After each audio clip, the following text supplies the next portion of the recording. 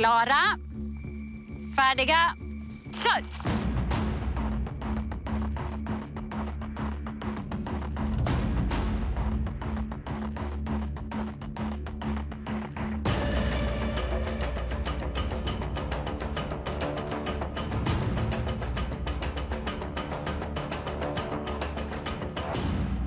Statiskt arbete är vad det handlar om. Reglerna är enkla. Den som hänger längst vinner grenen och får den där eftertraktade guldstjärnan och sju stycken poäng.